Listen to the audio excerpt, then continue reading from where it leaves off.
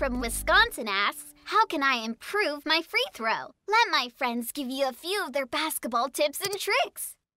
Hi, Molly. Hi, I'm Laka. Hi, I'm Manu. Hi, I'm Keller. We live in Anchorage, Alaska, which is the traditional land of the Diné Inuit people. Today we're going to go practice basketball at the gym. We've been playing basketball for basically our whole lives. And we love practicing together.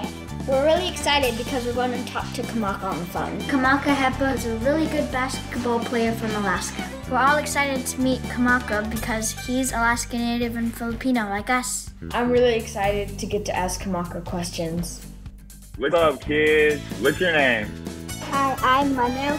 Nice to meet you. I'm Kamaka. First, we're practicing our dribbling. Dribbling is just bouncing the ball up and down with your fingertips. Way to keep your eyes up. That's the perfect form right there. Good job, Kalu. You guys have really good dribbling skills. Keep working on that and make sure you guys keep your eyes up so that you can see the floor and see where the defenders and your teammates are at. Kamaka, can you give me some tips for shooting? Point to your elbow real quick. Make sure your elbow is over your eyes. So you want your elbow over your eyes when you guys shoot. Okay, we're going to practice what Kamaka taught us. It's good when you're shooting to have your elbow above your eye because you want to shoot high up, like reaching for a cookie jar. Put your hand up and then go like that. You got it. You got it. Get it up a little bit more. Kamaka was super helpful.